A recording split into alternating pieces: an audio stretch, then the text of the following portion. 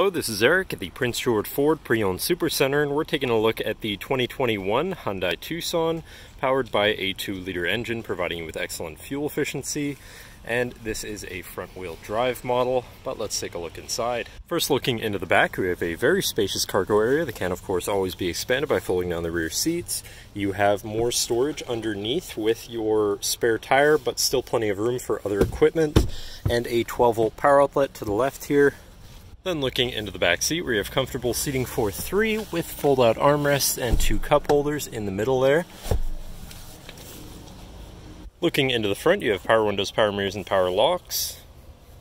Now sitting in the vehicle they're running, you can see it's sitting at 7,799 kilometers. And moving down to the steering wheel, on the right-hand side, you have your uh, cruise controls as well as your controls to cycle through your information here, such as your drive info, so your trip information, digital speedometer, fuel economy, uh, total info, and then you have your driver assistance settings and features, and then settings for your screen and some other features around your vehicle.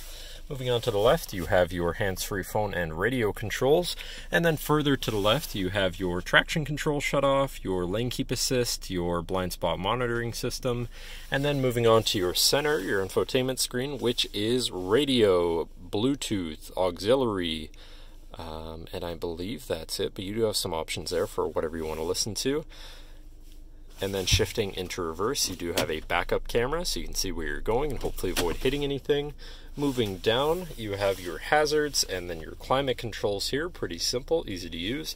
You do have heated front seats with three levels as well as a heated steering wheel so you can stay warm uh, Moving down further, you have two 12 volt power outlets as well as a USB and auxiliary, so you can plug something into power or charge or hook up your audio from there.